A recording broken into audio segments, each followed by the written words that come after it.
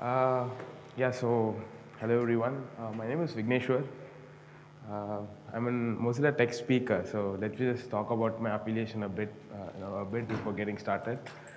Uh, so I'm a contributor to the Mozilla project. You know, Mozilla has a lot of projects, and then I'm associated with this initiative called Mozilla Tech Speakers. So what they basically do is they get in enthusiastic volunteers who have been around with the community for quite some time, and then uh, they train them to be like developer advocates, go out to developer-facing conferences like these to talk about uh, Mozilla initiatives, their technologies, and web in general. So I'm one among those uh, people in that group. Uh, so that's how uh, I came to know about this conference from one of my other tech speakers who also spoke about uh, Rust in the previous days. He took a workshop and things of that sort. So that's how I came to know about the conference, and I'm here to basically give you an overview about what's like to program in Rust. So it's a new system programming language, and uh, it has got uh, quite some traction. You know, like a lot of people are starting to like it.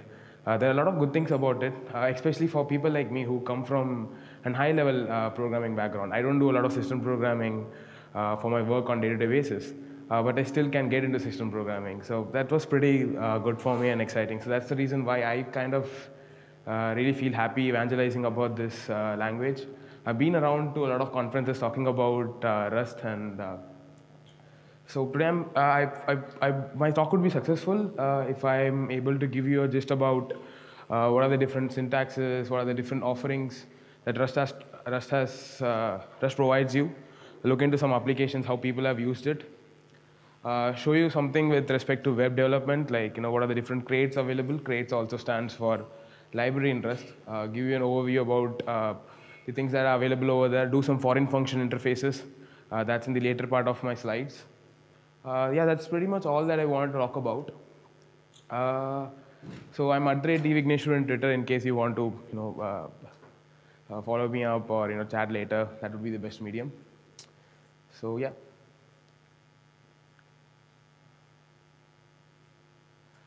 Okay, uh, so first thing, what has Rust has to offer you guys? Like, uh, for system programmers, uh, it's, it's, it's going to be really simple to learn this language. It's very easy for people who have been, uh, you know, writing C, C++ code and uh, who, who basically are system programmers in a day-to-day life. For them, Rust is going to be like a, a piece of cake. Like, you know, they can just uh, easily adopt Rust. For high-level programming language, language developers, it's going to be again easy to learn because high, Rust gives you a lot of high-level iterators, which I personally like a lot.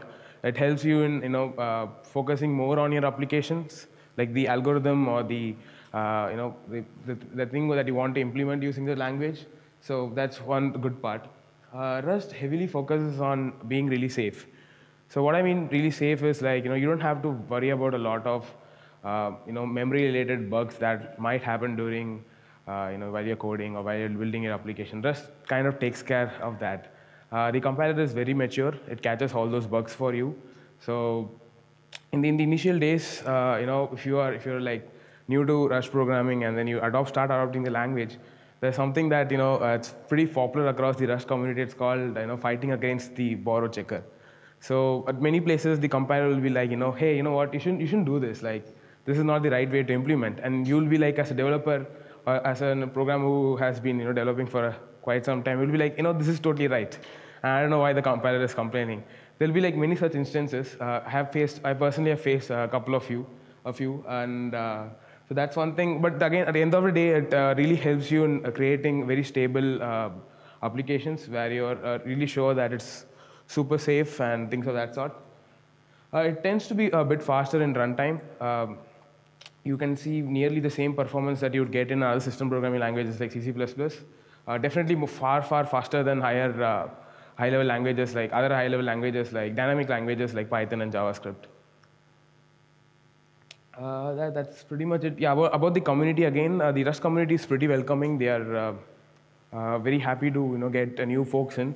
The IRC channel is very active over there. You'd find a lot of community volunteers who would just help you with a lot of questions. So that's something that you would experience the moment you get into Rust community. That's pretty much about uh, you know uh, the language. Let's look at to some um, uh, facts and figures like where has been you know used and who are using it, uh, how they are using it, and things of that sort. it's pretty uh, very new language compared to other system programming language out there, but it's, it's it's been adopted. Like that's a good point, right? So there's something good about it. So this is one of my favorite applications. How many of you used the uh, Wire app before here? Anyone? Uh, okay, so it's, it's, it's just a messenger, uh, but it does a lot more things. Uh, it's mostly used in uh, for a lot of business communications and things of that sort. You could do conference call using uh, WebRTC and things like that. So uh, their background uh, cryptography is something that has been rewritten in Rust, and they they got huge performance boost. They all, almost got like uh, 141 times the performance for a couple of their cryptography algorithms. So they under the hood they use something called uh, the libsodium, uh, which gives you a lot of uh, you know functions for doing cryptographic uh, algorithms. And uh, what they basically did was they converted they they used the Neon project, which again is an a high-level binding for writing JavaScript applications. So you write Rust code, and then you could bind it with your JavaScript application. So that's what Neon does. And then for certain of their uh, cryptographic algorithms, they got like really, really huge performance boost. That basically led them to, you know, uh, led them in faster boot time of their uh, web application app, which was written in Electron, again, and uh, which uses under the hood uses Node.js modules. So that gave them a lot of, uh, you know, uh, performance gain when they were booting up their application. So that's a good use case here. Let's look into some more. Uh, so this is another experimental uh, package out there. It's called the Tokio Mini HTTP. Uh, it's purely experimental, uh, nothing so great. Uh, like you know, people haven't used in production as far as I know. So what this basically does is it handles a lot more requests. It just gets the juice out of your server. End of the day, what that basically means to product managers and people for business is that you know you could really save your in your cost of hosting services. So this is a very active area of research of you know building asynchronous uh, uh, uh, servers and applications, web servers. So you could see the difference in you know uh, multiple languages like you know just Java, Go, and Node.js, but just that you know you can really really handle a lot more requests. So I highly recommend to go out and check this blog and you know this library. Uh, it's pretty cool. For language, it got released in 2015. Uh, it's been like one of the favorite, most, uh, one of the favorite, voted, voted the most favorite, uh, you know, language in Stack Overflow developer survey. Uh, so the community is really happy about this for the fact that you know a language which just got released in 2015 has been like you know adopted and loved by so many people, and so many new new uh, libraries come out daily. If you go to crates.io, uh, which is the place where you could find all of these libraries, uh, there's so many of them across so many verticals, starting from you know AI, web, and whatnot. Almost like they're covering all verticals. So I personally, I, I- write a library called DeepRust, and uh, that's morely into deep learning and Rust, a lot of mathematical models that I am experimenting. Uh, it is just so easy for me to write uh, code in Rust. So, and that's what you know. Other experienced developers also feel the same, and they've gone out there just you know experiment with uh, Rust and see what's what is to offer. So one thing that they really really appreciate is the number of uh, uh, lines of code. You know that significantly reduces because you don't have to write a lot of code in order to get your application run, thanks to the high-level iterators that Rust provides out of the box. So this is pretty cool. Uh, there are a lot more other companies that are using for production. Um, each one of them are using across different uh, you know parts of their stack for really specific reasons, and you know they have calculated why they are uh, using that as well. There's a lot of blogs out there benchmarking these good uh, uh, results. There are a lot of papers also available out there, which highly recommend uh, people to you know go out and check out in case you are developing a new application or you are comparing between what language to use for what kind of uh, use case. There are a lot of resources out there.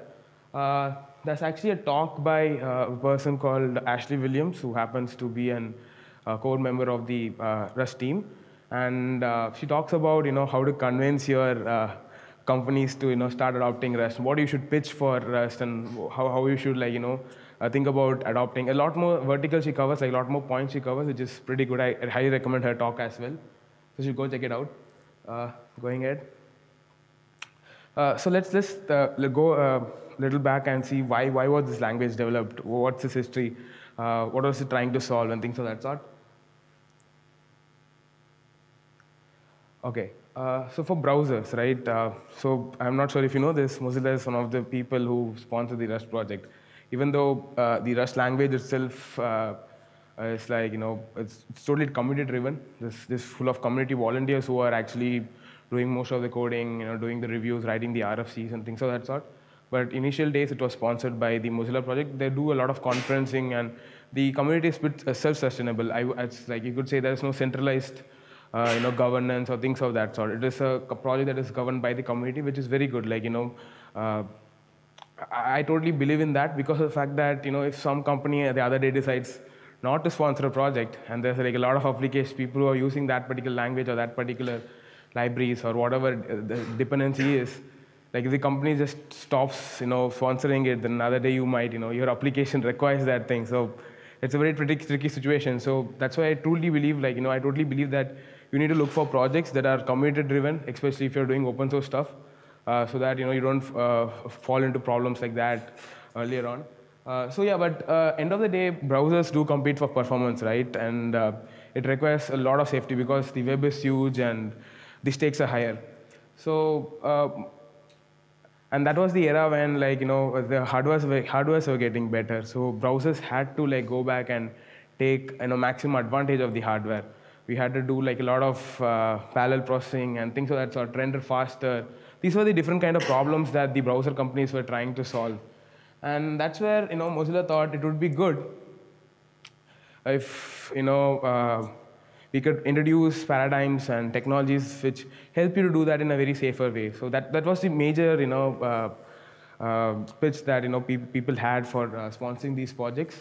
So Mozilla being one of the biggest companies, having one of the biggest C++ code, right?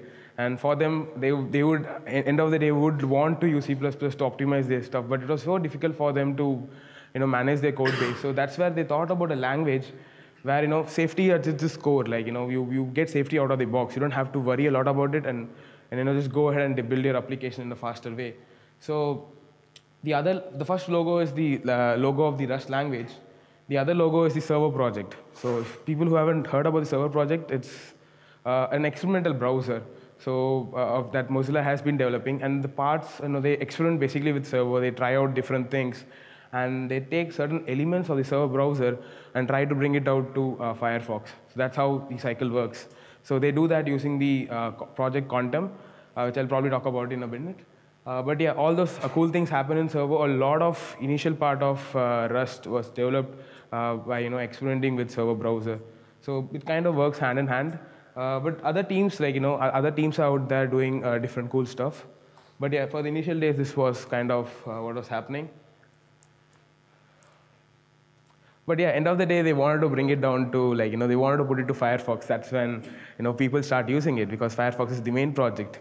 So that eventually happened with Firefox uh, 54. It started happening with Firefox 64. There were a lot of small, small units that were brought inside.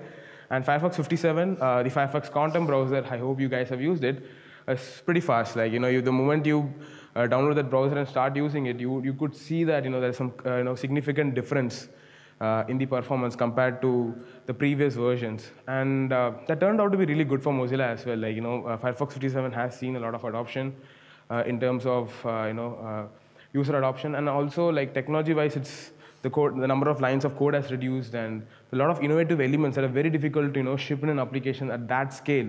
That, that was possible with Rust. So this proved that, you know, that you could go to production with Rust at a large scale as well. That uh, really got uh, gave a lot of confidence to the community about you know thinking about large scale uh, uh, you know application development using Rust. So there were a couple of elements to that. Uh, so if you can just think uh, the whole engine, whole browser rendering engine as a you know an engine of a jet plane, this is how it would look like. So you have a lot of elements. So this is the project Quantum. So they basically divided the whole uh, project into five multiple parts. So quantum CSS, quantum render, compositor, DOM, and flow. So the CSS, also known as Stylo project, was completely rewritten in Rust, which basically does uh, implements the work stealing algorithm and uh, parallelizes your uh, style rendering. So the moment you do start downloading a website or a web application, so you have to render the pixels, right? So that was basically parallelized, and uh, there's another algorithm called work stealing, which basically makes sure that you have the same kind of workload across your different processes. And all those things were implemented in Rust, and those libraries were again open sourced. completely open source. They were started with, you know, uh, they were started developing with uh, them them being open source. A lot of other people also have used them. Uh, so, so the render project and CSS project were completed in Rust. A lot more things in the pipeline. They are uh, playing around with GPUs. Uh, you would see a lot more uh, interesting things being released. So go check out the uh, hacks.mozilla.org website. There are continuous posts about that. In general itself, it's pretty you know informative. Like if you, if you are generally curious about programming, the web in general, uh, this is a really really cool website. So uh, 48 is when Rust actually landed. So um, now next, let's, get into some code. Uh, I just want to give you an, a really overview about what's it like to uh, program in Rust. Uh, it's going to be really, really simple. Like the moment, I, as I go through slides, it will be like really easy for to follow as well. Like even if you are seeing the Rust code for the first time, it, it's not going to be any new surprise. All of these elements look really, really familiar. So what they basically do is uh, they, they, they take the good part of all the other languages out there. So if you find something good in any particular language, take that and implement it in Rust. And if you feel there's something good like that, you could just go out, raise an issue, uh, write a proposal that, you know, let's think about uh, having this feature. And people will start, you know, commenting on it. And uh, that's how the process works. Uh, so in order to declare a variable in Rust, you need to use the let keyword. Uh, so that, that's the only thing that you could use for you know initializing variables. Uh, but there's one thing that you have to know, uh, you know note. Uh, by default, everything in Rust is immutable. So you can't just simply simply change values. Uh, I'll probably talk about the reason why it is like that later. But if you want a, a particular value or a variable to be dynamic nature, or you want to change values on the fly, you will have to explicitly, explicitly say uh, or mention the mut uh, keyword before the variable. So that basically tells the compiler, hey, you know what, uh, in this particular scope, I might change the value of the particular variable. So that's how it works. Constant is for basically uh, having static values. Uh, yeah, so functions, pretty simple again, uh, nothing so fancy you could you could see like a lot of things have been inspired by C++. Like you see the curly braces, and things of that sort. So the, the type system in general is not going to be like really, really alien to people who are coming from other programming languages, whether it be high-level programming languages or system programmers. It's, it's, it's pretty uh, easy to adopt. That's, that's the main point here. So one thing, uh, one good thing that I like about uh, uh this type system is that you know you explicitly mention what are the types uh, that you know your, your function arguments are taking.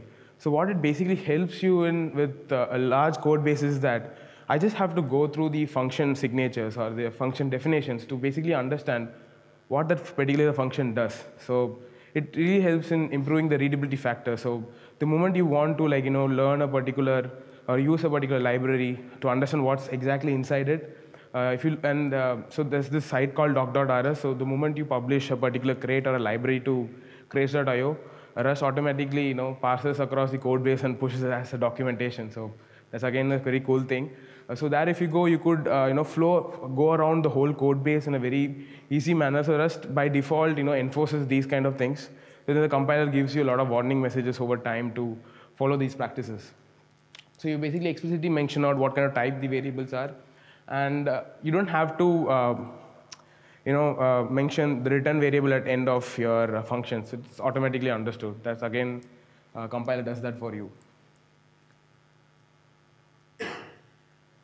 Uh, flow control again, uh, nothing so fancy here. Uh, you get the same thing if else from other programming languages. Okay, so for pattern matching, you have something called match. So you'll have to use the match keyword for uh, doing pattern matching, it gives you a, let's similar to switch, like you have a case and uh, the corresponding things that you want to do. So a single, ex single expression, then you can have uh, multiple values, ranges of values, and underscore basically stands for default.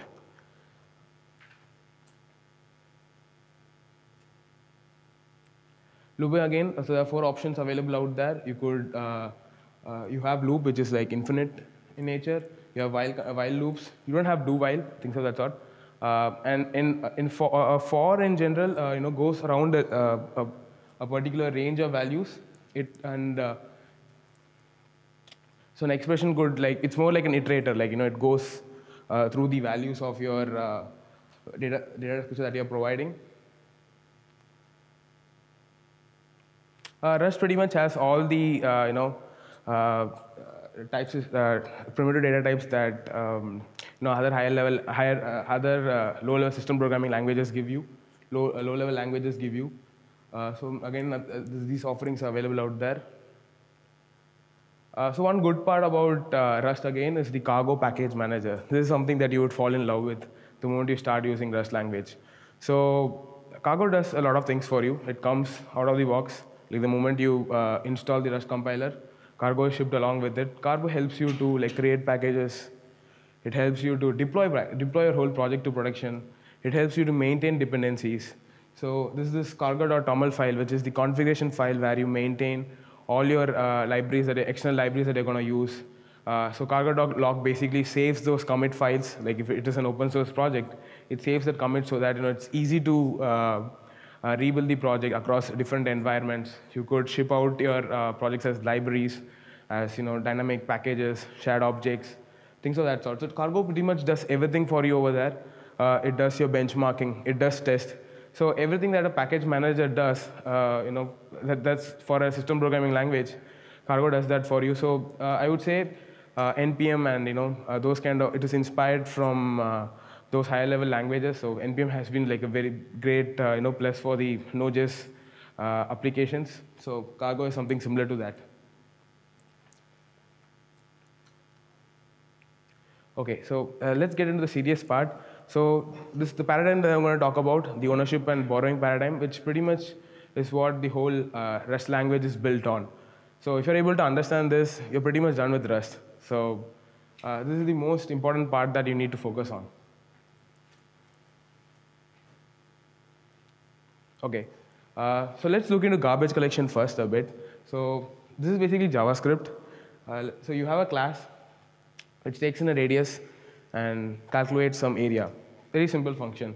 And then I have another JavaScript function which basically calls that class three times and uh, you know uh, appends these uh, areas. So you know, like an accumulator, I'm just adding those areas. So that's pretty much what this code does. So under the hood, what's basically happening is uh, most of these uh, high-level languages you're not sure about. It's not. It's the the, the compilation is done on the fly, right? they, they use an interpreter. It is not like static code where you already are generating the abstract syntax tree or you know your uh, everything is optimized. So this thing happens on the fly. So it, it, tends, it, it happens to be that you know all these data structures and data variables are stored in the heap. And uh, so what you basically have is uh, you go through the code, and the moment you create new objects, you save them in the heap. And after some time, uh, the garbage collector comes in it sees that you know, you're not using this particular resource. It just clears them off, clears, uh, clears from the heap memory. Uh, so you, you do realize that the garbage collector is uh, something that's running in the background and you know, adds in a delay. So Rust basically avoids this. Uh, again, let's look into some referencing. So again, I have some uh, an, uh, an object that you know I'm calling, and I'm passing it as reference. All this seems to be like a totally cool thing to do or a very fat thing to do in higher level languages. But let's try to do the same thing in Rust. Uh, so do you think this will work? This seems like pretty okay to write, right? You, you basically have some resource that you are you know, uh, sharing across multiple functions. It should work, right? Doesn't look uh, really bad. But it, it, happens to be that you know, uh, you would get an error while you're compiling this. So Rust says that you know, the, when you call this for the second time, it says that you're accessing something that you're not supposed to access, or you know, something that doesn't exist. Uh, so let's now go, uh, come back to the uh, borrowing concept where I can talk uh, more about this. So Rust works by scopes. It, it does something called uh, deterministic destruction. So moment something uh, goes out of scope, or you know, like the, I'm, I'm, giving a particular resource to a function, and I'm not explicitly telling my compiler or I'm not explicitly writing code to say that you know I'm not going to you know use that, uh, use that uh, data resource again, uh, if you don't do that, moment the, the scope ends, Rust compiler would just you know delete that particular resource from the memory. So your ownership is basically movement of variables or referencing variables across different scopes. So that's how you should look at uh, while you're programming. So you when you're passing something to a function, or you're passing it to some other code base or some other language, you need to see uh, Rust sees that as scope. So the moment you pass a variable to another function, you're basically moving the ownership or from a function A to function B, or the main function to the other uh, child functions that you're calling. And if you don't explicitly tell the compiler or write code to say that I, after completing a particular execution, I'm going to return the ownership, you won't be able to access those resources that was passed. So, but uh, it's very difficult to program like this, right? Uh, like, just too difficult without referencing and stuff of that sort. So we have something else for that. It's called borrowing. So borrowing basically says that, hey, you know what? Uh, that I can reference it, but let me just do that in a very safer way, or and let me do that in the in the uh, in, using ownership concept. So there are two type of referencing in Rust. So you can just pass a, a reference as a shared state. So what I mean by a shared state is that you know uh, you, you could you could pass that to many threads or many functions, but make sure that you're not making any kind of modification to my data.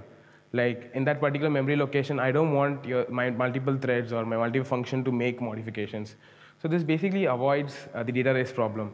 So when does a data race occur? So when you have multiple threads, you know, modifying the same data source, that's where things become really crazy, right? That's why it's very difficult to, then you'll have to do a lot more other things, complicated things to make sure that's not happening, or you'll have to handle that yourself.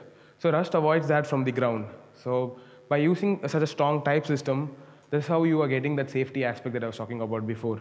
So now that you know that, uh, now you know that you know when you're when you're sharing when you're sharing resources, you're making sure that you do that as a shared state or a mutable state. You're doing that as a shared state, what, bas what basically happening is you can pass it to any number of any number of threads or any number of functions. It'll just make sure that you're not having this access to edit that particular data source or make some modifications to it.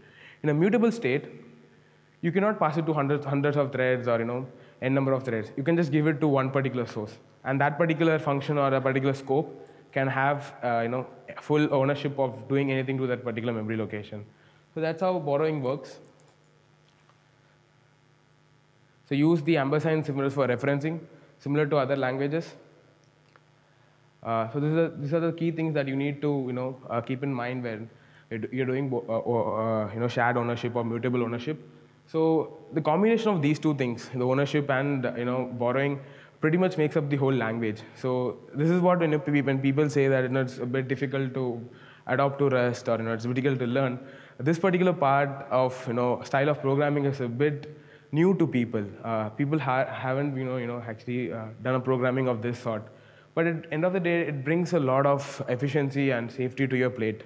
So I think it's okay to, you know, uh, try something out new and get, you know, used to it.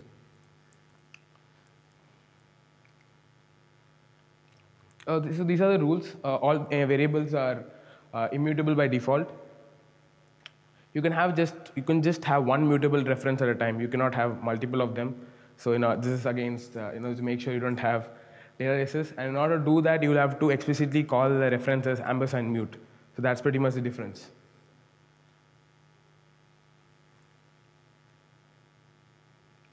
So all this comes boils down to um, a language that doesn't have a garbage collector because you're working with scopes and you could you can you can you know uh, determine when to destruct your uh, uh, memory spaces on the fly. So avoids garbage collector thus giving you uh, more efficiency. So that's a pretty good thing. Thank, that happens thanks to uh, borrowing and ownership. So I talked about high-level iterators earlier, uh, which Rust gives you out of the box. Uh, the standard library uh, that you know comes in default with uh, the Rust compiler gives you a lot of amazing things. Like you could you could do a lot of thread processes. You don't have to explicitly you know, you know download new new libraries for that fact a lot of things have been covered and it's actively being you know updated. All those things that's happening to the Rust project happens to the standard library. Uh, so here I have a simple function to you know basically uh, count for a particular word in some lines. So let me say I open a file and I'm reading through each line. I want to find the count of a particular word. So you could do that one by you know just uh, iterating across each words and this creating an, uh, an accumulator. So let's, I just, but I told you that they're high-level iterators. So let's look into how we could do that using a high-level iterator. Uh, so so one thing that you need to uh, notice is the into iter. So you're converting a particular type into an iterative type, and then you're basically calling mapping the uh, wline function. Over there, you're, uh, you're finding uh, the matches and increasing the accumulator. So the, the, the, the key point that you need to note is that you can convert your types to iterative types, and then you could do uh, iterative operations on them.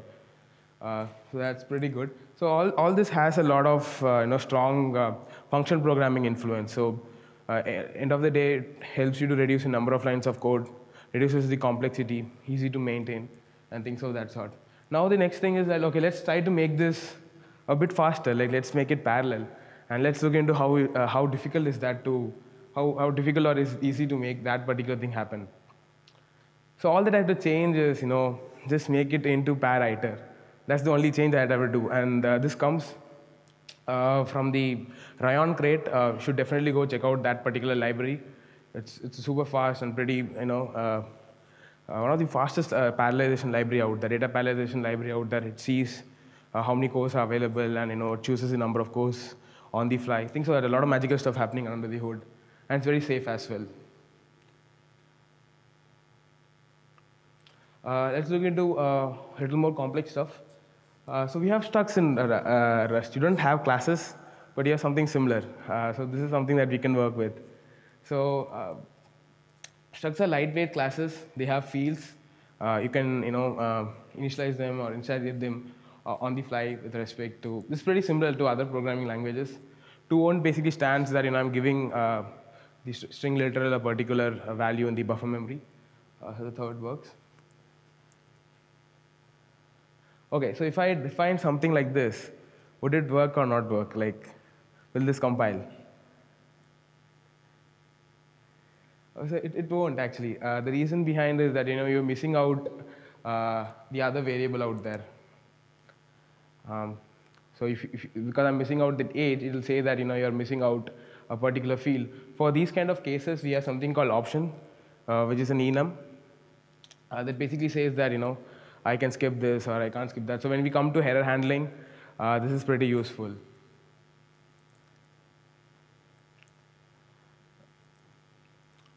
Uh, so enum is, uh, the enum option looks something like this. This I copied from the standard library. Uh, so you, you either have something, uh, some kind of type associated, otherwise you have nothing. So that's how the option enum works. Uh, thus we are avoiding, you know, no null pointer exceptions and things of that sort can be avoided.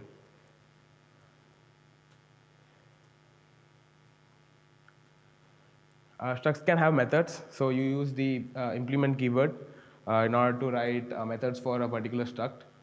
And uh, it's again very common to you know other programming languages.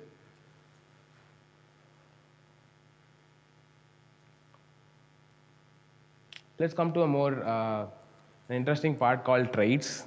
so traits basically does four things for you. Uh, it's, it's more like an interface. It helps you to do statics and dynamic dispatches and uh, a lot more things. So as I show a little more code, you'll understand the importance of traits and how it helps you to do uh, a lot of things like you know zero cost abstraction and things of that sort.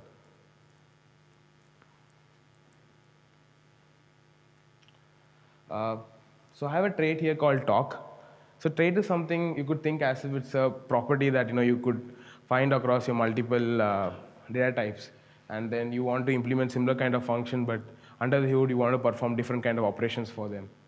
Uh, so I, I, I, basically do a small change in my implement function. I just add, implement this particular trait for this particular data type. So that's what this particular uh, syntax stands when I'm saying implement talk for human or implement talk for dog. And then inside which I write my, I, I define my, uh, you know, the function description what, it, what I want my function to do. And then in a trait, you basically give an, a signature of uh, what kind of function am I defining. Uh, so you could have a generic function that basically uh, uh takes a reference of that particular type, and then it can implement the different uh, you know, properties uh, that we defined earlier.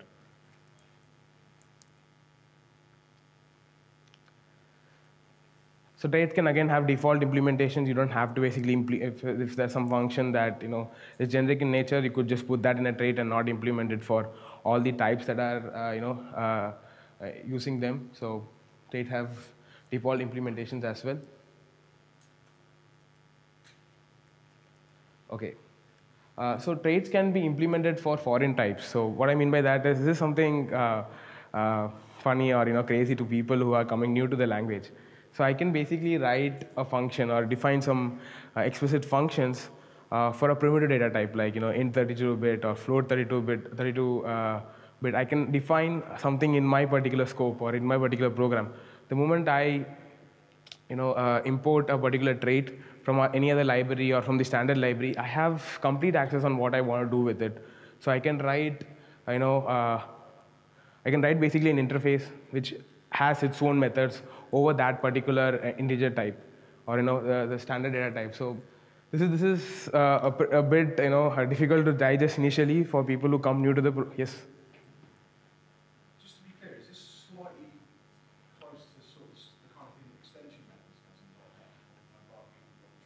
Yes, uh, that's what it, it's basically like an extension method. Yeah. Uh, so I have more examples that I was coming to that, but yeah. So uh, uh so next next I'm talking about the dynamic and static dispatch part of it, which should make those things clear. Um, yeah, that's why. Yes. So you could write uh, you know your own you know user-defined functions and user-defined methods for you know foreign types. So it's really helpful. Like if you, if you want to, it gives you a lot more freedom uh, in doing this. But at the same time, you need to keep something in mind.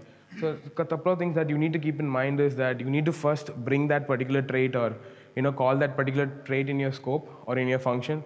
Then only you will have this uh, capability of you know going ahead and modifying it. So that's the only thing that you need to keep in mind.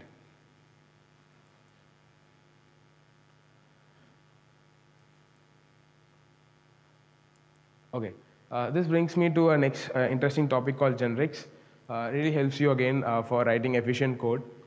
So let's say I have uh, three structs, person, car, and smart storage. And then I want two particular uh, methods for uh, you know, smart person uh, storage, and it takes in a person as a type, as an input. So what if I want something like a smart car storage? So what I could do is basically you know, implement the same functions and just change the type for smart car storage to car. Uh, but you know, as programmers, we know that we should not repeat our code, right? There's something bad. Uh, try something that you know, most organizations make sure that you know uh, they're using a lot of uh, tools to find this out in case you're seeing some repetitive codes and things of that sort. Uh, when you're doing some uh, code reviews and things of that sort. So that's where you know generics comes into place. So you could just say that you know I'm going to just implement a, a, a type, a smart storage type in which I can just give you any kind of types. But then again, what you should basically do is uh, you can either handle that particular type in your code uh, explicitly, or this would give you like a lot of errors in runtime. So another way of doing that is by uh, mentioning what kind of type that you're going to give. So what I basically do is I mention, a, I, may, I, I implement some uh, smart storage for a particular type. So the, here the type could be a person, a car, uh, so this is what uh, is called. Uh, so this is this basically this is what's called a generic. So you could bound your traits to that. So I, I basically write one particular uh, class of methods, and uh, I, I can implement I can write that for like multiple types. Helps me to reduce my number of codes, and I also can bound traits to it. So you'd see a lot of these syntax in when you go when you go when you're exploring Rust language, a lot you would find a lot of similar uh, you know syntaxes. So these are basically generics, and each type can be bounded to a particular uh, trait. So the moment you, you see something like this, you should go back, check the documentation of the library, and see what trait is being called, what function is being uh, used. So it gives a lot of readability and to in order to help your code if you're looking at an alien code. At the same time, you can reduce your uh, number of lines of code and make sure that you're not repeating a lot of elements.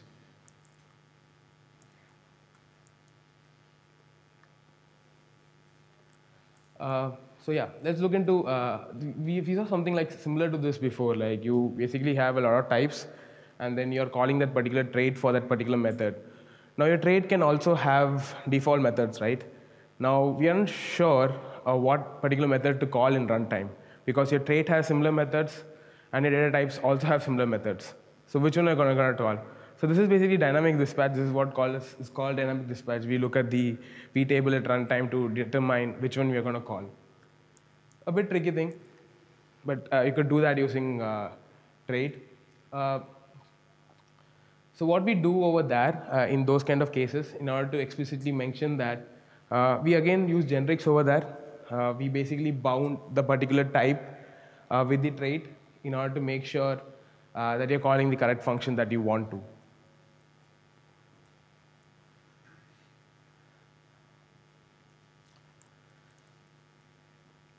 Uh, but what's and basically happening under the hood is that your compiler is basically optimizing uh, the code for you. So now you have two different functions for different data types that you're calling, but you have the same code for it. So moment I call a type bounded with a particular um, trait, um, I'm done over there. As a programmer, I'm done over there. But under the hood, the compiler would basically create different functions or for the different uh, you know data types that I've used. So helps in basically you know performance tuning and things of that sort. That's how it that's how the compiler works, and this is what is zero cost abstraction. So you don't actually pay or you know have any kind of um, loss in performance for doing something of that sort at runtime. Generics helps you a lot. Can you combine? Yes, can do that. But you need to make sure that you know uh, you're doing that in the correct way. Like uh, it becomes a bit tricky when your code becomes really long. But yeah, it's pretty easy to do that as well. You could do that. Yeah. Uh, so let's look into enum. Uh, let's you know, uh, dive ourselves to error handling and how easy it is to do that in uh, Rust programming language. So enum again uh, is very simple. You have types associated with a particular enum, and uh, here I basically check if I have an error which is critical or not critical. Do some pattern matching over there and print out some you know print, print statements. Um, so this is something that you could extend. So each of your types could again have arguments. So here I have basically three type of types that are basically with code, with message, with code and message, and each one of them take different kind of arguments to check. And you could again do, uh, you know, for, for, example, this this would be more uh, suitable for people who are uh, ha uh, handling errors at you know in, in web development environment. If I pass in a, a, a integer, I would get an error a custom you know error handling done over there. So the basic point is that you know you could uh, there's a lot of freedom around you know what you're passing and what kind of types there are there. Again, at the same time, it's it's not very difficult or very confusing when your code bases grows because it's very evident that a enum takes has three type of types and you can handle three type of messages when uh, these kind of scenarios happen. Uh, so that, that's very useful and very easy for uh, people who come from any programming background to basically understand a new code, alien code base. Yeah. Uh, the static one? Yeah, so that's something called lifetimes. Um, so you could um, uh, basically mention a particular variable or a particular um, you know, object or instant could live for this particular period of time in your code base. You have that basically you, you have that capability of doing that. It's end of the day, it's a low-level programming language. You could probably do anything, whatever you want to. So that's lifetimes for you. I'm not covering lifetimes because it's a, a pretty complicated topic. It's just if, if I can bring it into into a C++ like context, it's, it's to avoid dangling references. Yes. have explicitly named lifetimes, and the uh, compiler checks that uh, your reference doesn't outlive the thing that it references. Yes.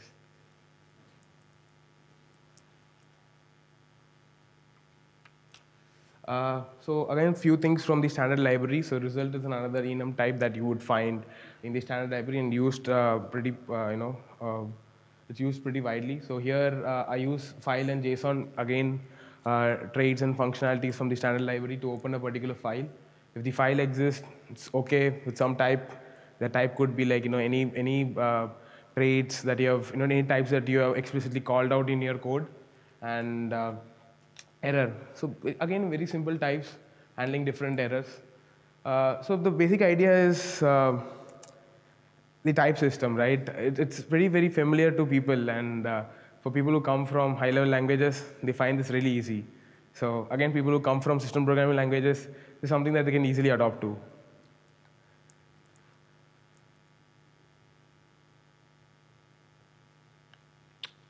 Uh, you, you can bind each types to a particular trait and then do error handling. So you can probably have all these combinations available out there. It just, uh, you, you, this, all these combinations work totally fine. Uh, the compiler takes care of all kind of optimization that are required under the hood. And you can have each of these uh, errors or you know, types can have functions. So you can implement functions over there. So you see that I have implemented uh, error function uh, for the result types, which takes in two type of uh, data types.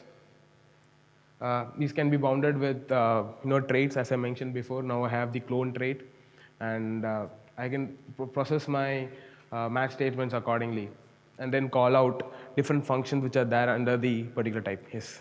Sorry, I know the answer to this you're going to, and you can't do anything about the colour scheme, can you? I can't read red. Uh, I'm really sorry. It's it's screenshots. I can share you the. Okay. Uh, I'm not sure how. Uh, how do you? Okay. I'll, I'll, I'll, I'll have uh, all of these things uh, uh, in my book. I, I didn't. I forgot to mention. I wrote a book in Rust, so have uh, most of these things documented over there. And Rust, cook, Rust book, which is again the official uh, documentation of the Rust language, is a pretty amazing book. Anyone can just go refer to it for you know just uh, revising their computer science skills and stuff of that sort. So it's pretty helpful. Is it better now? Just getting that light from there. it's, it's very difficult to you know uh, talk from here. The light is on your face. You don't have the slides online. Uh, I'll, I'll put it online. You will put it Yeah, I'll do that. I have a lot of versions of these, uh, but this is like kind of good. And I, it's better to you know uh, run the code so that you get a better intuition of how things work. So I can share the Git repository also later. I put together a reading list, uh, some good talks and blogs at the end of my slides, so you could refer to that as well. So yeah, again, the point is enums can again implement traits. Uh, so macros, I'm not going to talk a lot about it, uh, but helps you to you know abstract at synthetic level. You could uh, uh, do a lot of things with this. I'll show you an example uh, in my next slides when you're doing web development or writing some middleware. You could actually take full use of macros over there. You have designators to basically you know uh, perform different kind of operations on the fly. So, so dollar $e colon expression stands for that. You have a lot more other expressions out there. Um, there are again attributes and things of that sort, which you need to go and explore yourself. This one hour 30 minutes isn't- enough to cover all of that stuff. But yeah, and you have an, uh, so you saw the println macro. You could have your own, uh, you can define your own custom macros, macro rules. It's another macro that you use to uh, define your macros. So that's how it works. Um, so let's look into the uh, some some frameworks that are available. Nickel is one of my favorite. There are a lot of low-level web framework stacks also like HTTPS, uh, Rocket, Diesel, and things of that sort. Diesel is again an ORM. Uh, so all of these good packages that you could just go out and experiment with in your existing web stacks if you are into web development and things of that sort. And you can basically do some benchmarking and performance uh, testing. A lot of people have done that, so you could find a lot of blogs written outside uh, that basically helps you to get started with this.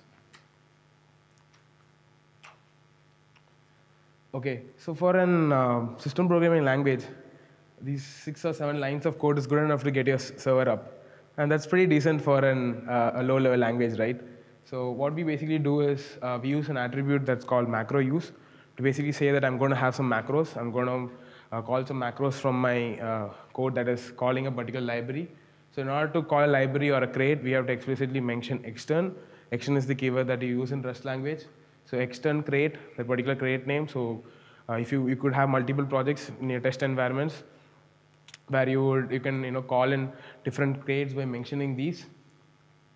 Uh, so you, I, I call in some uh, structs and uh, uh, traits that I'm going to use, HTTP router and nickel. I call my uh, nickel structs a new function which basically creates an uh, server object that has a lot of functions like get, post, delete and things of that sort. And I just for listen in the listen function, I just give my uh, you know IP address and port at which I want to listen. That's it. Like this particular server just spawns when you do cargo run. Uh, the Nickel Nickel crate is a very uh, you know an abstraction over the HTTP crate. Uh, people who have used Express.js like or you know other other libraries out there to you know quickly start a web server, very very easy to use it. Um, so if you want to like do some quick testing, I would highly recommend to use Nickel. A lot of people use that. That's the reason I put it in my slides as well. You can build your own custom uh, middleware. So uh, in those codes, I, I, call a macro called middle, middleware, and then I could like process my. Uh, I think I just copy pasted the same thing again again. But you could have request, uh, the response parameters inside closures, and then use them. And the last line doesn't end with a uh, semicolon, which is basically the return type of that particular macro and everything. Uh, and when you uh, you write your own custom logic in the particular middleware, and that is getting abstracted at the backend uh, in the Nickel crate. So you don't have to worry about it. Just do your processing in that particular middleware space. So in order to implement what you want to do with your you know function. So so I was experimenting with some image processing uh, crates and image processing libraries, and try to you know productionalize them. So this was pretty helpful. Uh, other features like you could do error handling, it has encrypted cookies, session supports, and all those out of the box, uh, pretty simple. Uh, so another use case of you know, doing foreign function interfaces with Rust, uh, you could do that to Python and uh, JavaScript to just, so I, I, like to talk about this topic a lot of foreign function interface because I come from a high level background high level language background. And it's for me if i can just put some system programming code for certain type of workloads it, it's very helpful for me. Like you know i can see really good performance boost in certain type of my task. So uh, so node.js is one good application. So let me just show you simple uh, examples on how we could do that uh, so i start a library project uh, this is how the uh, cargo.toml file will look like you have uh, packages, lib, you could put your dependencies, where you mention what kind of library it is. So I want to ship this out as a dynamic library so that other languages can consume it. I write my name, version, uh, uh, other things, things of that sort. And so the no mangle attribute basically stands for that you know I don't want to change the name of this function uh, when it's you know when you're building the dynamic library so that I can call it from my other languages. So and I have to explicitly mention uh, public extern for my other languages to consume it. So this is something that you would come across uh, in the Rust language whenever you, are playing around with modules. Uh, so module is another uh, interesting thing that basically helps you to modularize your code, have different scopes, uh, you know, uh, do encapsulation and things of that sort. So pub extend basically helps you to extend your particular uh, function to other languages. So now I can, uh, if I'm, I'm calling from JavaScript, I can call the same name with uh, Fibonacci series and give in some JavaScript types, and it would still work. So I'll show you how that works. Uh, basically, this is simple Fibonacci experience uh, ex, uh, ex, value. So I use the FFI um, node module for doing that. That's the that's, that's available in npm. In the, node repository, you could just go download it from that node registry. I, I given the location of my directory, and then I space uh, and I define that this particular function takes an integer type and returns an integer type, and I call my function. This is how we would do a simple uh, integration with JavaScript. Let's look into a little more advanced things because uh, you know you have so much of types. There's so much of type difference because JavaScript has limited types and this of JavaScript type, and that JavaScript works in a totally different environment. You have heap memory over there. You, you, you, you could just do anything with your memory, but in Rust, it's not possible, right? So this, this, this, that's why I'm going to talk about this neon library right now. Uh, so I have some visualizations that will help you to understand how things work under the hood.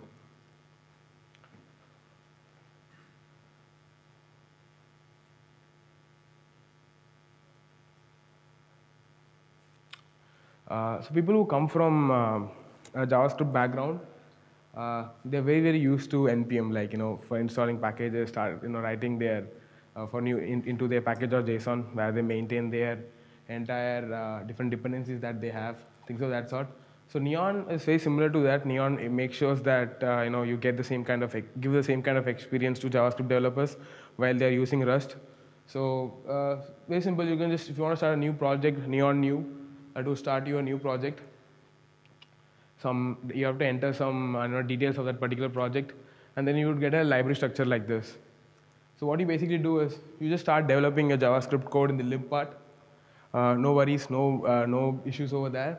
And your native Rust code would go into the native directory, and you would do everything that you're normally developing in a Rust project over there. Now, when it comes to integration, there are some things that there are few things that you need to keep in mind. Inside the Rust part, again you'll have to mention that it's a dynamic library, mention your dependencies, things of that sort. Here I'm basically counting the number of uh, you know processors that are available in number of CPUs that are available in, a, in that particular machine. So I use the num CPUs library for that, or num CPUs crates for that. So the, these types that you see, right, JS number, JS results, and things of that sort, these are given uh, given to you by the Neon library, and this basically what it ensures is that, so whenever you are you're, uh, there's some part of uh, JavaScript data that you're bringing into your Rust code, you want to ensure that that particular memory is not disturbed by your other JavaScript applications, other Java's arbitrary code that is there in your JavaScript application. So now you basically make sure there's a log that if I just can, you know, log that memory for a particular uh, period of time, where I can do my Rust processing and do all those things that Rust can do, like you know, parallel processing, things of that sort. You're basically, you know, uh, imp improving your performance of your JavaScript application. So that's what's happening here. You have the uh, call type, which basically ensures that the scope is saved. So how it basically works is, uh, say for uh, building this, you just have to you know uh, call that particular library, the dynamic library that you build, and just use it as any other uh, JavaScript function that you would use by just calling that function, and it will just work fine. Uh, so JavaScript basically calls in a lot of init objects under the hood, and that would have some memory in, that would have some uh, space or some memory allocated in the heap memory. And uh, the, the, garbage collector runs at a very, you know, at a lot of, there's a complicated algorithm that basically ensures when the Java garbage collector should run. And uh, during that particular process, we want to ensure that the memory that the Rust uh, code is occupying is not getting disturbed. So uh, Neon basically takes care of uh, that for you. So not, not going to details, catch me later if you want to learn more about this. Uh, under the hood, again, you will have V8 APIs because Node runs on V8, which again has some, you know. So let me talk about some tooling systems that are available in Rust. So Rustup is the tool chain that you would use to install uh, the Rust compiler and the other associated project. You have a lot of other versions available of available in Rust. For example, you have the nightly version. Uh, if you want to do cargo bench or cargo test, you'll have to use the nightly version. You could also use cargo plus nightly while you're you know, running cargo commands in order to use the nightly compiler. Uh, so Rust being, you know, uh, influenced, strongly influenced by, you know, Mozilla and they, their, you know, uh, nomenclature and stuff of that sort. So you have a nightly version for Rust as well, which gets released every six weeks, I believe. And there's a, I don't know which or what period of time period then Rust official compiler get released, but they have certain dates. Uh, so you have the stable compiler, you have the nightly compiler if you want to do something fancy or there's, if there's a new RFC that's proposed and they want to try out and try it out if it is like really stable, that goes to the nightly compiler. You could just run both of your code uh, in different uh, versions of the compiler. A lot of uh, you know CI/CD pipelines support that as well. So if you're going to GitHub and starting your own Rust project, Travis basically helps you to do all those things. Uh, the Rust format tool again pretty uh, you know, handy when it comes to uh, you know making sure your style guide is really nice. The cargo compiler, like whenever you do cargo compile, the Rust compiler will always throw you warnings in case you're not, you know, following some style guides. But uh, Rustfmt is something that I would use just to make sure that everything falls in place. Again, it could add, you could add that as just a part of your, uh, you know, a build, build configuration as well. Rust uh, Clippy is a, uh, a tool that you know does linting and stuff of that sort. Again, you will have to call that as a dependency, use it in nightly version. And while you're compiling your code, you will see a lot of warnings and things of that sort. Cargo, as I mentioned before, uh, cargo new bin, You could have a, a class of commands over there, command line tool that helps you to, you know, uh, package your Rust application. There are a lot more other tools um, that are, you know, that the com- community is currently tinkering on. People build tools based on their requirements, but they're pretty hand, handy for different different use cases. Okay, let me talk about the community. This is something really good. Uh, this is the most uh, fun part of being in uh, the Rust community. So I, I do a lot of initi- uh, initiatives in India, uh, running so many community events. It's just so it's a blissful experience meeting all these people. Uh, one good part about the community is uh, they are very you know beginner friendly. Like if uh, like I, I had no clue about system programming when I got started, and it's just not been long time as well. Like when I, I don't I don't concentrate a lot of time doing Rust programming, but again I'm I get to know about all the uh, cool things that are happening in the community. There's a newsletter called This Week in Rust, which posts like job postings, what are the different events happening, what are the different uh, you know blog posts that are coming out. They again run a lot of initiatives for helping underrepresented people you know adopt this language. The community is worldwide and you know pretty helpful. So anyone can go ahead and you know uh, start proposing RFCs, and that would be you know reviewed seriously. Uh, no, there'll be no joking and stuff like that. There's a good code of conduct that they follow. And uh, like if you have been in been at uh, Florian's talk that was that was on the second day where he spoke about three days of uh, three years of uh, Rust programming, where he talked about a lot of things that the Rust community has done, uh, you know, explicitly and. Uh, the Rust community leadership, or there's, there's something called leadership as well. The, the, like people who are interested can you know go and pitch in, help and writing emails and things of that sort. So again, everything that ha- anything that goes to Rust project ha- happens through an RFC procedure.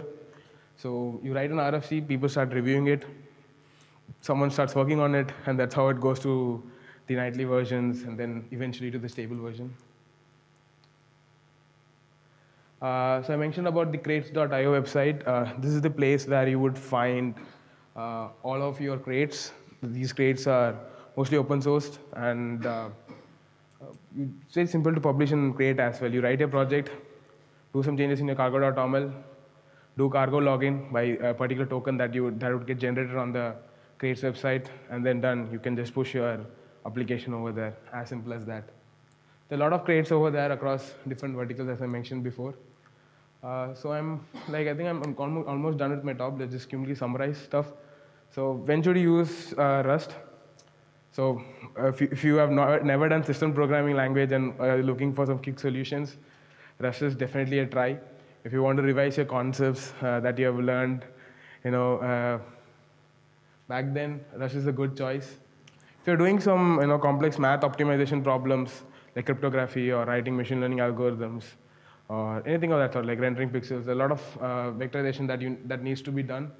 Uh, Rust is the good choice over there. A lot of libraries available that you can quickly experiment with. For accessing hardwares, again, uh, this, a, there are different working groups uh, this year which are focusing on uh, different aspects in Rust. So there's something called WebAssembly, which I spoke about yesterday. Uh, again, a very, very, very a, topic of uh, technology that has a lot of potential to change the whole way the web works. And uh, the Mozilla is trying a lot on building tools and libraries that would help uh, make that experience really good. So that uh, so WASM is something that you could definitely go and try. And uh, if you don't want to write a lot of C++ code, at the same time you could just experiment with Rust. WASM is a good choice. WASM is definitely a good uh, you know place that I would focus on.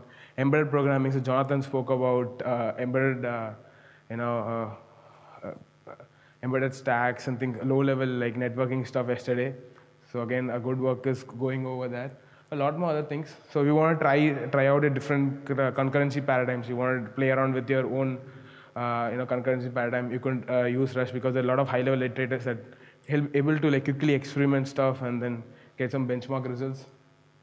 Uh, foreign function interfaces pretty easy to you know write and integrate with other code bases. Really helpful.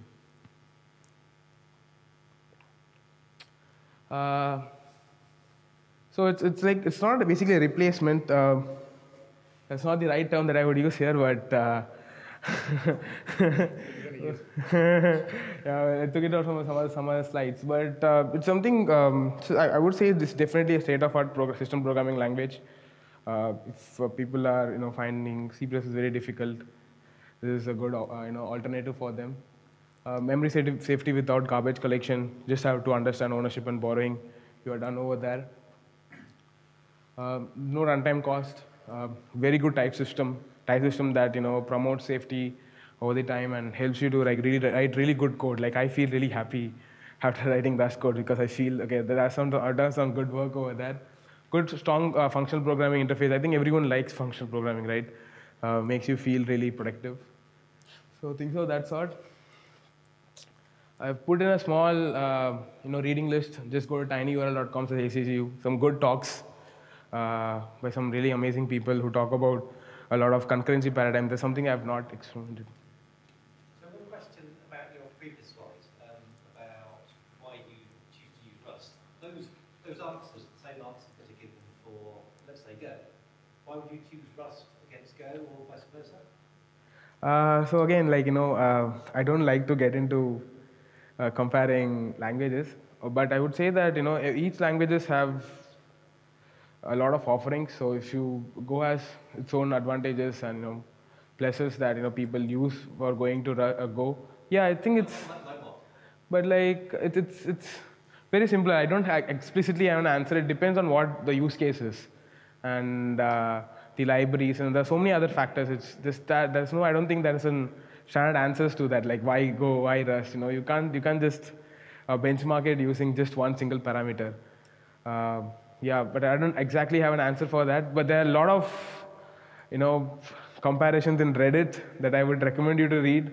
But none, none, none of them are like you know uh, end of the day there'll be like a lot of conversation going on, and uh, you just can't you know rely on any one particular answer or any one particular uh, project. So that's not the right way to look at it. It is more into like you know your use case and how it fits for you. That's what that's how I that's how that's how I see it. Like if some other, someone comes and asks me that you know would you use Rust or Go, I would say I would use both of them and see which works for me. So I think that's that's a better way to look at it than just comparing it. Uh, you know, uh, you can't just compare it by the same uh, parameters. It's like two different things. It's like comparing apple with mango or things of that sort. So yeah. So yeah, with this pretty much all that I wanted to cover. Um, I'll, I'll, I wanted to show some demos, but uh, unfortunately my laptop couldn't get connected. Yes. Oh, you, you mentioned, uh, you have the last line on the slide about the uh, foreign function interface not being too fast, which is something that Oh, Go yeah. suffers, which is something that Go suffers from um, as well.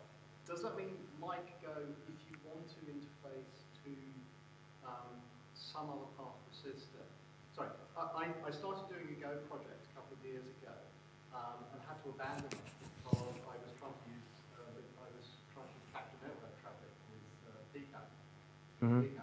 Um, and the foreign, the Go foreign function interface Mhm. just absolutely kills your performance. hmm You know, when you're just Mm, yeah, yes. out of the. I get it. Uh, so yeah, Uh, Specifically, does Rust have a native PCAP?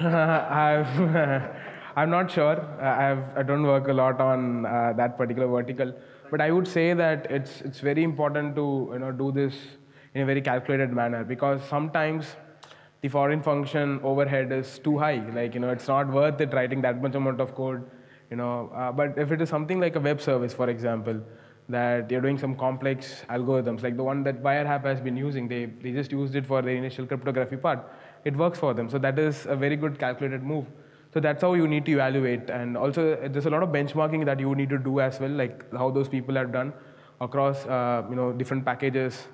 You should also look into how easy it is to interpret, how many lines of code that you want to write, when do you want to go to production. There are a lot of things that you need to consider, right? It's just not just not performance. So that's a, again, you know, somewhere resonates to the question that you had previously asked also about comparison between different languages. You need to evaluate, uh, you know, what is what are the different um things that you have to offer and what are the different trade-offs. So that's how you uh, you know you would uh, look at it. But yeah, this is a very uh, very very critical thing to choose. Like uh, for example, the other day someone was asking about you know doing something with the canvas on a web. Would I use system programming for that? If you're just building a simple application like a simple website, don't do that. it's not going to help you at all.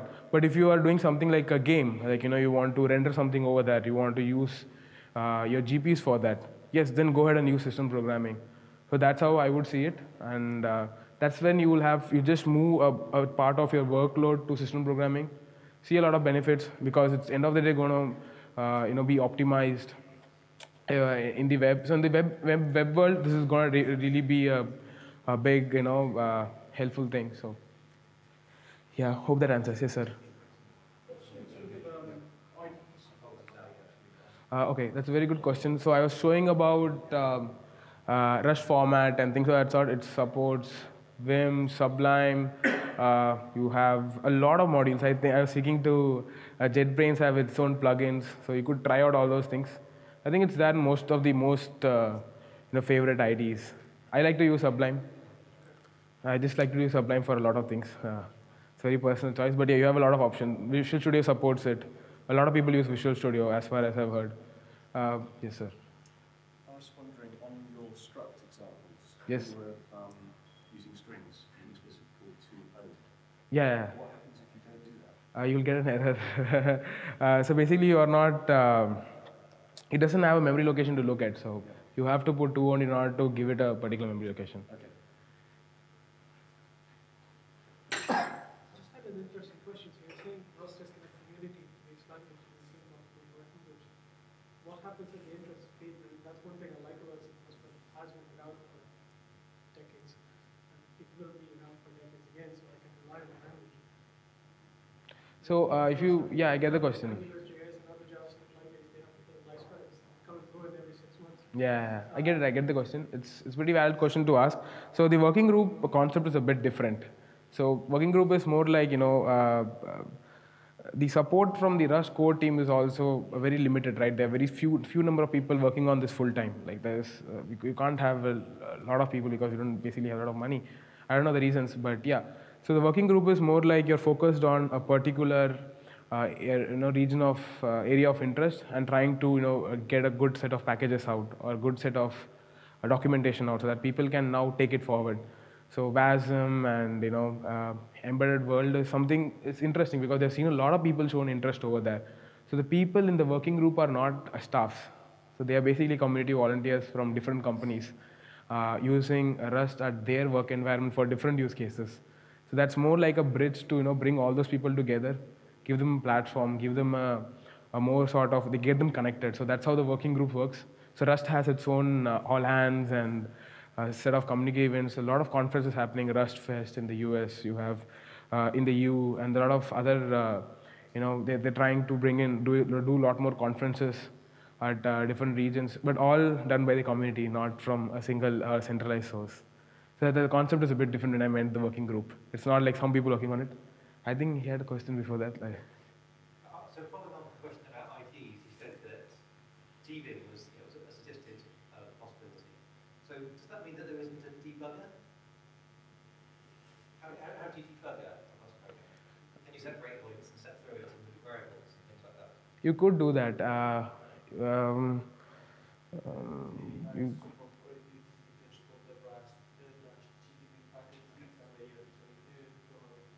so yeah, I, I, yeah, my I, don't do Rust for like you know uh, my day job, so I don't use a Rust debugger, but I, I don't maintain a very big. My pack, package is like around so 800 lines of code. It's not really huge, so and it's pretty sorted out across different modules. So I have never gotten like an, you know, an opportunity to use a debugger, but it's definitely there. Like I haven't used it, but it's definitely there. So it's GDB support, right?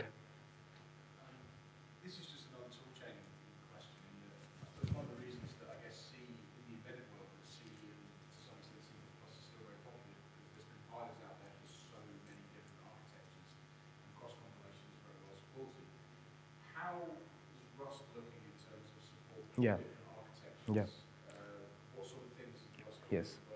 So there are basically three tiers, uh, tier one, tier two, tier three. So there are different architectures and different platforms supported in different tiers. So the Rust core team or the Rust the staffs, they basically look at tier one. They make sure that the releases are, you know, uh, totally adaptable for the tier one platforms.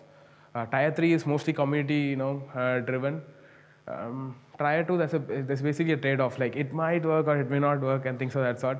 So tier three, uh, no guarantee given.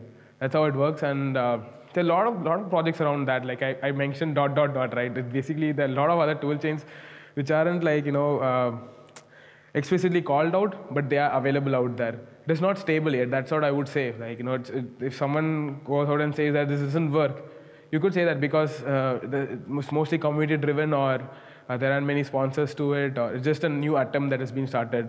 So I think uh, you need to give it some time to reach over there. And it's always an interesting thing to do, right? Like you could uh, go experiment with it for just for learning purpose. That's what I think. That's what a lot of people do as well. So, so I totally understand if you can't answer this question, but you, to get a feel for what is and isn't supported, could you give me an idea of what, like, an architecture that's in each of those tiers? Uh, x86 ARM architectures that will come in tier one, Raspberry Pi boards, and you know other uh, embedded level. Uh, I think some of the Samsung boards they come at tier two. Uh, tier three, I think there are a lot of these uh, networking devices. I have never heard about them because you know it's just uh, totally alien to me, Greek and Latin to me. But there are a lot of those things come at tier three. Uh, for me, I just wanted to get it to work in my normal laptop, so now I thought I think most of the developers who, who want to do that would do that. Uh, but yeah, I, I understand that a lot of uh, there are a lot of people who work at a very low level at this conference. For them, it's definitely an important thing, and it's a very valid question as well. So I'll probably maybe go back and check that and add some. Uh, no, but yeah, there's a lot of active conversation about it. It's just that I don't get involved with that uh, because I have very limited time and I just want to learn something pretty cool. So that's how I see it. Um, but yeah, it's also, it's, I think a lot of people uh, talking about it as well. I think you should go catch up, uh, catch Jonathan. He should be around here. He might be able to answer that a bit more in, an, in a better way.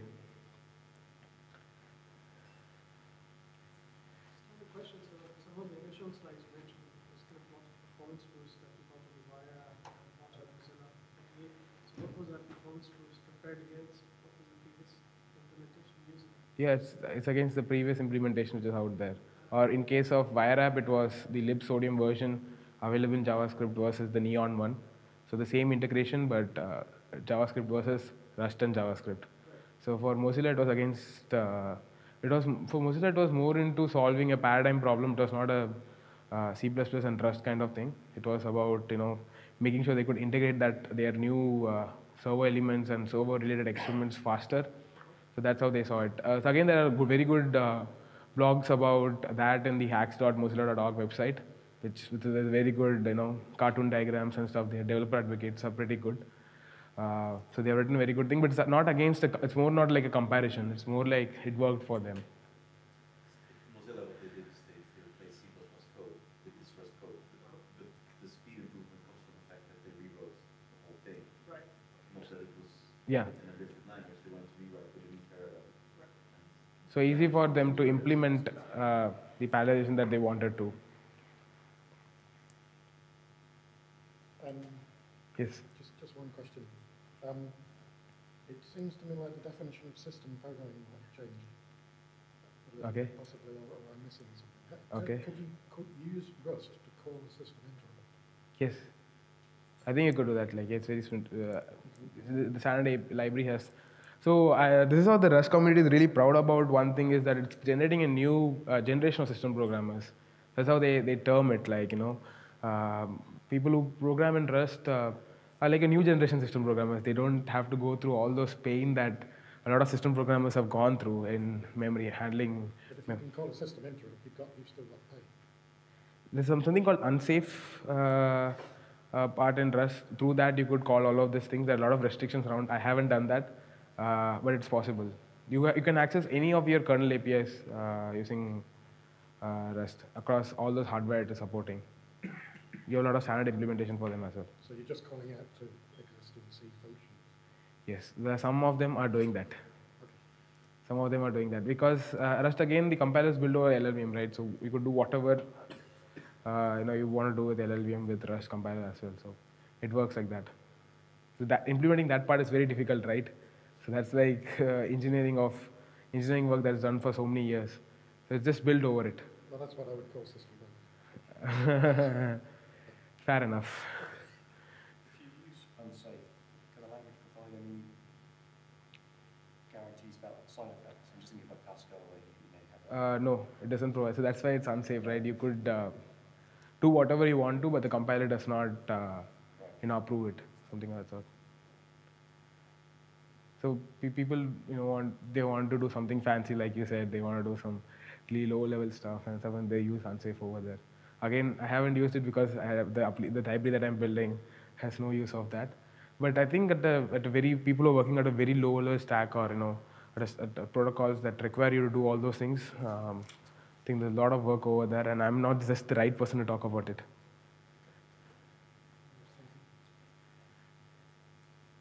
Uh, there are no more questions, then thank you so much. Thank you for uh, your time and patience listening. Catch me over if you want to talk more about it. Thank you so much.